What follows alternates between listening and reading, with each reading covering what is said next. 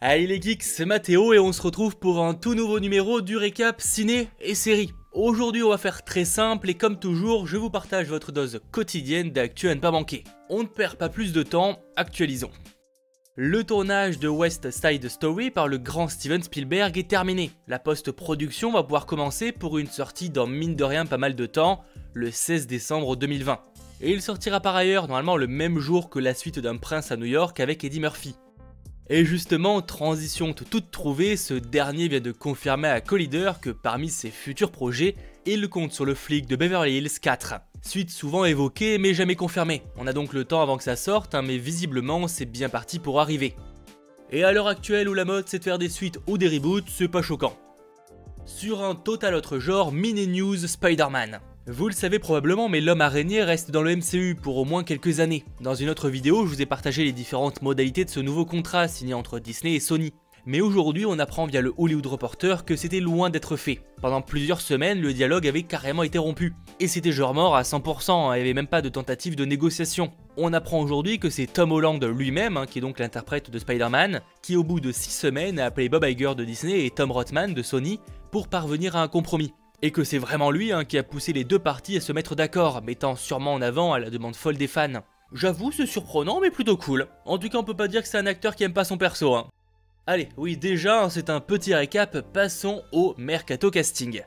Variety a pu apprendre que Michael B. Jordan, Seth Rogen et Evan Goldberg seront certains des producteurs d'une série dramatique policière d'une heure pour Amazon. Son nom c'est Middle West et c'est une coproduction entre Amazon Studios et Lionsgate Television. Et on y suivra deux agents du FBI enquêtant sur la disparition de deux policiers.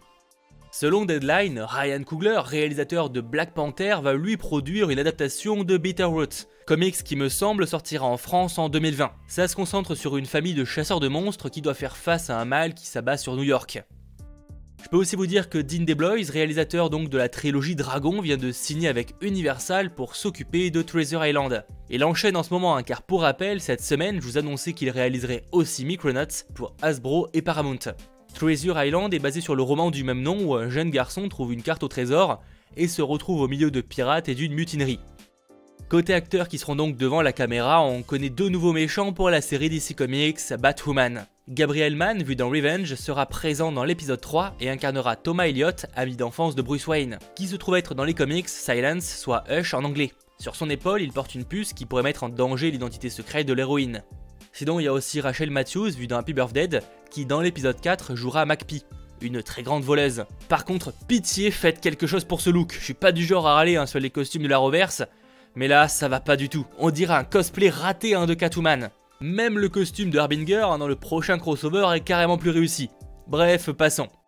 Dans un autre style, on a peut-être quelques informations sur The Batman. Pour rappel, le film sort en 2021 et le tournage ne devrait plus trop tarder à commencer. Donc forcément, le casting va se dévoiler, hein, c'est déjà un peu le cas. Et si on en croise Geeks Worldwide, hein, qui est souvent bien informé, hein, je vous en parle régulièrement, eh ben on a une liste un peu plus précise des possibles actrices qui pourraient incarner Catwoman, dont certaines qui seraient récupérées du côté du MCU. Je sais pas vraiment si elles en ont le droit, mais bon, ça à la limite, on va dire que oui. Parmi cette liste, on retrouve Lupita Nyong'o, qui a donc joué Nakia dans Black Panther, Tessa Thompson de Thor Ragnarok, Gugu Mbataro de La Belle et la Bête, Alexandra Chip de Dark Phoenix et Logan Browning de Dear White People. Elles font donc partie de cette fameuse liste assez restreinte de qui pourrait incarner Selina Kyle, alias Catwoman. Je rappelle quand même hein, que c'est pas la première fois qu'une actrice métisse est choisie donc pour le rôle de Catwoman, c'était le cas dans la série avec Erta Kitt, ou même plus récemment, même si c'est pas forcément le film qu'on a envie de se rappeler, Holly Berry, hein, qui est quand même une actrice afro-américaine. Bref, affaire à suivre, on aura sûrement la confirmation de si la candidate choisie fait partie de cette liste, mais il y a des chances. Dans un autre genre, il se pourrait hein, que l'on connaisse un autre personnage qui fera son retour dans la série sur Obi-Wan Kenobi. Car pour rappel, le seul acteur confirmé actuellement, c'est Ewan McGregor.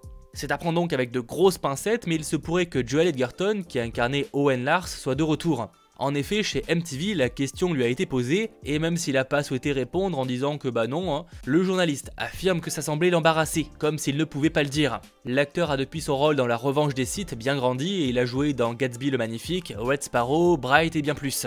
Attendons donc de voir plus d'informations hein, sur ce programme au potentiel très intéressant.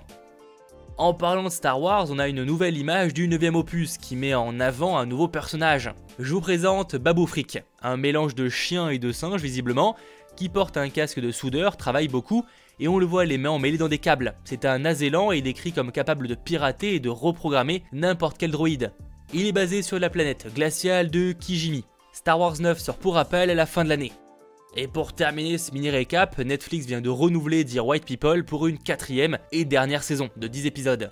C'est déjà tout pour ce mini récap. Malgré tout, s'il vous a plu, n'hésitez pas à lâcher le pouce bleu et rassurez-vous, hein, il y a le Comic Con de New York qui commence dès maintenant au moment où j'enregistre cette vidéo, donc il y aura probablement quelques trucs sympas qui vont tomber. Bref, on se retrouve très vite. C'était votre geek Mathéo. Ciao tout le monde. Ah et j'y pense, ah j'y pense, un petit teasing, hein, je serai au Comic Con de Paris le vendredi et dimanche. Peut-être le samedi, mais ça je peux pas encore vous le confirmer.